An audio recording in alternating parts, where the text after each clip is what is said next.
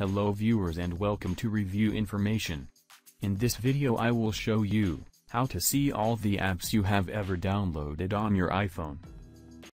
Subscribe to my channel and hit the bell icon to get notified any updates. To begin, launch the App Store on your iPhone. Tap on your profile picture in the top right corner, to access your account. Under the Account menu, tap Purchased. Under the All tab, you will see all of the apps you have ever bought or downloaded, using your current Apple or iCloud ID.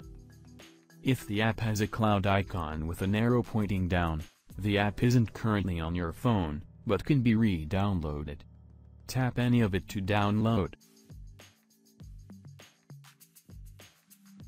Under the Not on this iPhone tab, you will find all the apps you have had on previous devices, and apps you have deleted off of your current device. So in this way, you can see all the apps you have ever downloaded on your iPhone. Thank you for watching. Hope you guys enjoyed my video. Please subscribe my channel for more videos. Goodbye.